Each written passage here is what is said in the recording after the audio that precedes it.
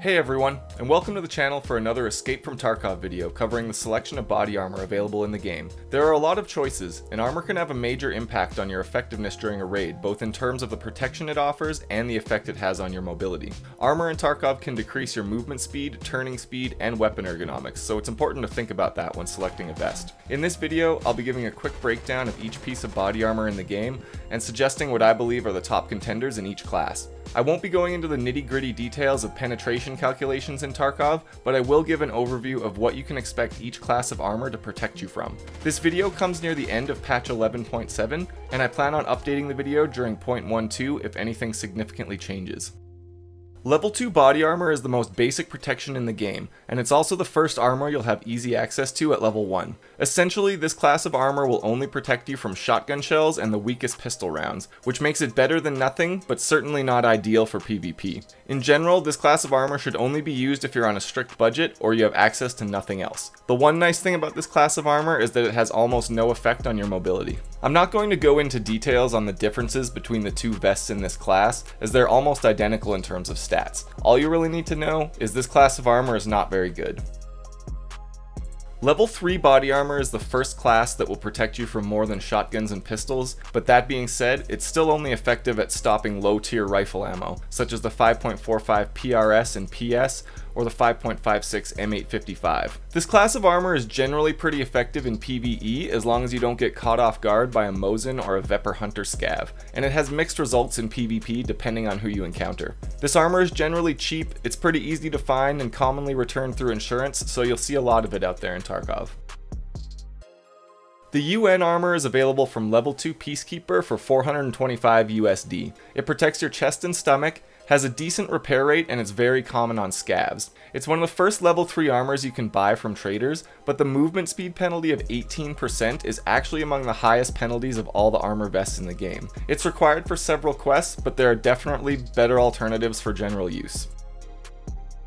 The Kirasa armor is available from level 2 Ragman for a ridiculous trade of 3 coffee, 3 Tarkola, and 3 energy drinks, or at level 3 Ragman for 63,000 rubles. The Kirasa has the highest durability of the level 3 armors, good mobility stats, and a pretty decent 8% reduction to movement speed. It protects both the chest and stomach, and the two downsides to this armor are its poor repair rate and somewhat high price tag for a level 3 vest. It's a good armor to use, but it's not the most cost effective to buy.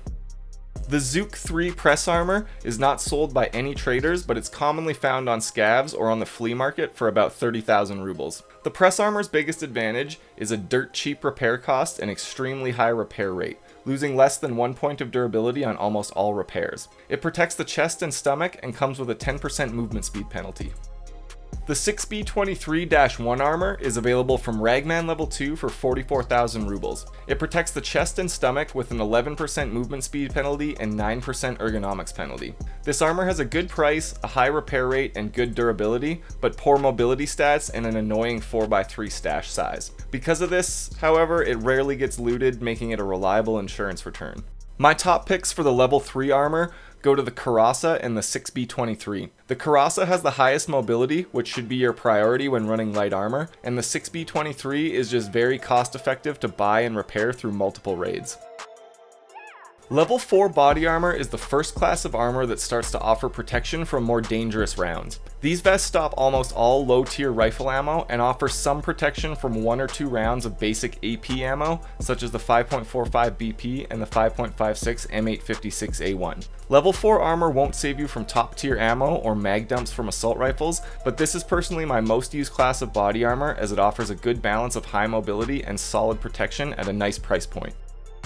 The 6B13 Assault Armor is available at level 3 Ragman for 67,000 rubles and comes in two camo options. It protects the chest and stomach, has kind of low durability at 47 points, and an extremely poor repair rate. It has a high movement speed penalty at 12%, but only reduces turning speed by 3% and ergonomics by 5%, which is pretty decent. At 67,000 rubles, it's fairly cheap for a level 4 armor, and it's not a bad purchase, but it's not worth using after the first time it needs repair. The 6B23-2 armor is sold by level 3 Ragman for 84,000 rubles. It's essentially identical to the 6B13, except for slightly higher durability and a 9% ergonomics penalty. It protects the chest and stomach, but in my opinion is outshined by the cost effectiveness of the 6B13. The Gzhel K armor is available at Ragman level 3 for 88,000 rubles or a trade of one coffee and one gold chain. The Gzhel has the highest durability in its class at 75 and great mobility stats with a 10% movement penalty, 3% for turning speed, and 4% for ergonomics. While it has a low repair rate and high cost, the barter trade for the Gzhel is a great way to get a hold of a nice piece of armor. The Highcom Trooper armor is not sold by any traders, but it's a very common drop from Scav Raiders in the labs. It's an oddity because it's the only dedicated body armor in the game, aside from armored rigs, that does not protect the stomach. It has a good durability at 70 points, and both the highest repair and mobility stats of all level 4 armors, but despite these advantages, the fact that it doesn't protect the stomach is a huge drawback. Of the level 4 armors, my top pick is easily the Gzhel as the best in class. It has nice mobility stats, high durability, and one of the best barter trades in the game in my opinion. If you get your hands on either a coffee or a gold chain, buy the other one on the flea market and make the trade for the Gzhel. You'll have a level 4 armor for about 30,000 rubles. Alternatively, the 6B13 is among the most cost effective to buy straight up from the traders. Level 5 body armor is where things start to get tanky, offering protection from multiple rounds or even multiple magazines of low tier ammo. Basic rifle rounds, low tier armor piercing rounds, and pistol rounds will barely even scratch you through these vests, making them really effective against scavs and against any player who's not specifically geared to take out armor. However, most rounds fired by snipers and some of the high tier AP ammo like the M995 and BS rounds will still penetrate on the first or second shot. The Gen 4 Armor High Mobility Kit is available at Ragman level 3 for 150,000 rubles and can be looted from Scav Raiders or the Kiba store. It protects the chest and stomach, and while it has the lowest movement speed penalty of the Gen 4 series at 11%, it actually has a significant turning speed reduction of 15% and ergonomics penalty of 11%, which sort of contradict its name as the high mobility variant, and I kind of hope that gets changed at some point.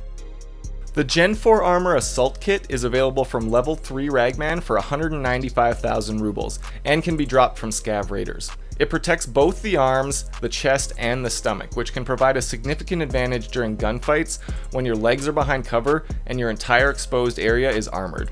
The Assault Kit has a 17% movement reduction, but a pretty respectable 9% turning speed and 8% ergonomics penalty. Out of all the full protection vests, this provides the highest mobility.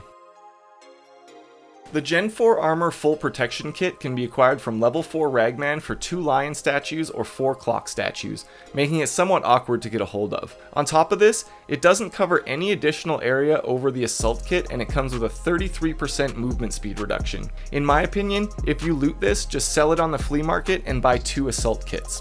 Oddly enough, this vest actually has a lower turning speed penalty than the Gen 4 High Mobility Kit, which I would love to see the developers change because it just doesn't make sense. The Redut M armor is available at Ragman level 3 for 113,000 rubles. It protects the chest and stomach with level 5 armor, and it has an average mobility penalty of 12% across the board. The durability and repair rate is lower than a Gen 4, but its selling point is that it's the cheapest level 5 vest by about 40,000 rubles. The Redut T5 armor is sold by level 4 Ragman for 200,000 rubles. It covers both arms and the chest and stomach, but it comes with a massive movement speed penalty of 37%, with 15% to turning and 14% to ergonomics. This armor has the highest durability of any vest in the game at 95 points, and it's significantly cheaper than a full Gen 4 but has similar stats. The 6B13M armor is a custom-made vest worn by the Interchange Scav boss Killa. It protects the chest and stomach, has one of the best repair rates in the game, and some of the best mobility stats out of all of the vests. There isn't much to say except that this vest is straight up better than the Gen 4 mobility kit and the Redut M, so learn how to farm Killa for this thing. My top picks of the level 5 vest are the 6B13 Killa variant and the Gen 4 Assault Kit, because they pretty much outperform the other vests in the category. If mobility is important to you, the Killa vest is definitely among the best in the game, and if you want to be tanky but not be a full turtle, the Gen 4 Assault is one of the best full protection options. However, any of these vests are a solid choice if you take the right one to the right place. Just don't be waddling through a field on shoreline with a full protection Redut vest. Level 6 armor is the strongest class in Escape from Tarkov, and will stop at least 1 to 2 shots from almost every round in the game, except for the few rare exceptions, such as 7N39 Igolnik, 7.62 M61, and certain Mosin or Dragunov rounds. There are only two vests in this class so far, and both of them are prized items if you can get a hold of them. The 6B43-6A armor is one of the most iconic pieces of equipment in Tarkov, and it can be acquired from level 3 mechanic for 3 bitcoins, or level 4 ragman for either 10 gold chains, 22 dog tags, or 3 damaged 6B43 vests. It also goes for around 300,000 rubles on the flea market. This armor protects both of your arms, chest, and your stomach with level 6 protection, but comes with the highest movement speed penalties in the game, a 40% flat speed reduction, 18% turning speed, and 27% penalty. This vest can let you walk through a lot of gunfire, but if you leave yourself in the open, the mobility penalties are going to get you killed. The Zhuk 6A armor can be acquired from level 4 Ragman for two antique vases, making it actually one of the more cost-effective armors in the game if you can pick these up in raid or for cheap on the flea market. It protects the chest and the stomach and has nice mobility stats for how strong the armor is. 13% movement speed reduction is not bad for this level of armor, and the turning speed and ergonomics penalties are both quite low. The only real disadvantage to this armor is the poor repair rate and the barter only purchase option. My pick for the best level 6 armor is easily the Zhuk 6A. While the 6B43 might make you a walking tank, the Zhuk has a nice balance of mobility and protection that makes it a really obvious choice in my opinion. A special class of armor in Escape from Tarkov is armored tactical rigs, which either act like both armor and a rig or allow you to equip both at the same time and stack two layers of body armor. Most of these rigs are extremely pricey and are kind of considered endgame gear that is taken alongside other high tier equipment. The biggest advantage of these rigs is that they save your better armor from being prematurely damaged, but they also give you additional mobility reduction. The 6B516 armor is available at Ragman level 2 for about 53,000 rubles. This rig protects your chest and stomach with level 3 armor and takes up both your chest armor and tactical rig slots, which can sometimes make looting a bit tough. The cost is actually not bad for budget runs though, and the mobility stats are about average, making this a good choice when money is tight. The 6B515 armored rig is available at Ragman level 1 for a trade of 7 bars of soap and 3 rolls of toilet paper. It also takes up both your armor and rig slots. To be honest, I've never once seen this rig used by another player in hundreds of hours of gameplay since it was added, and I picked it up for the first time while making this video. A level 4 armor and rig is actually quite good, but the trade for the rig is weird and I don't see it getting used a lot.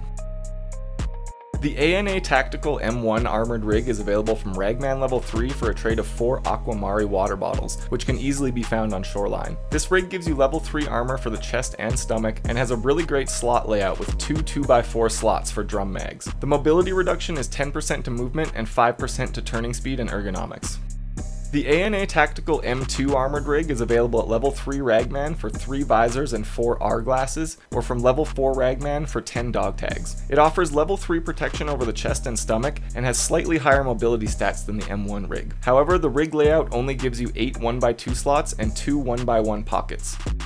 The 511 TacTec plate carrier is available from level 2 Ragman for a trade of 4 golden TT pistols, or level 3 Ragman for 2 GP5 gas masks and 3 flaming scab masks. This rig gives you level 4 protection over your chest only, and has good mobility stats. However, you can only fit 6 1x2 mags into the vest along with 6 1x1 pocket slots.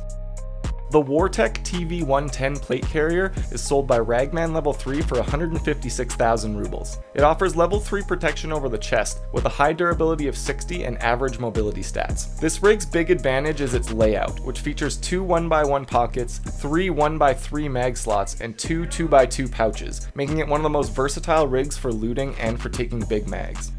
In the armored rig category, I would say it's largely user preference, but if I'm putting my money into an armored rig, I'm buying the ANA M1 or the Wartech rig so I can fit drum mags and helmets into the rig slots. To wrap up the video, I want to give my editor's choice picks for the top body armors in Escape from Tarkov. First up is a tie between the press armor and the 6B23 for the best budget armor in the game. In the level 4 category, I think the Gzhel deserves a mention for having a great barter trade to acquire a solid level 4 armor. In the level 5 category, I think the Gen 4 Assault and 6B13 Killa armor take my top picks. The Killa is easily the best high mobility level 5 vest due to its stats, and the Gen 4 Assault gives you the best balance between coverage and mobility. Of the level 6 armors, in my opinion, it's hard to not just call the Zhuk 6A the best armor in the game straight up or at the very least a direct tie with Killa's vest. In the armored rig category, I would say it's largely user preference, but if I'm putting my money into an armored rig, I'm buying the ANA M1 or the Wartech rig, so I can fit drum mags and helmets into the rig slots. Thanks for checking out the video and I hope you found it helpful. Feel free to leave any suggestions, corrections, or comments down below, and stay tuned to the channel for more videos like this on Escape from Tarkov. I think the next videos I want to do are an ammo guide similar to this, and a mobility focused loadout guide to compete with hatchlings. I stream raids fairly frequently at twitch.tv slash jdogthewise, so come stop by sometime and I'll leave a link for that in the description. So until next time, stay safe in Tarkov City.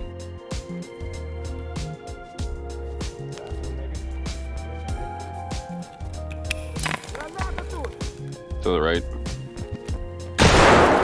Oh! Shode! Did that get us both? uh, it got me. It got me too.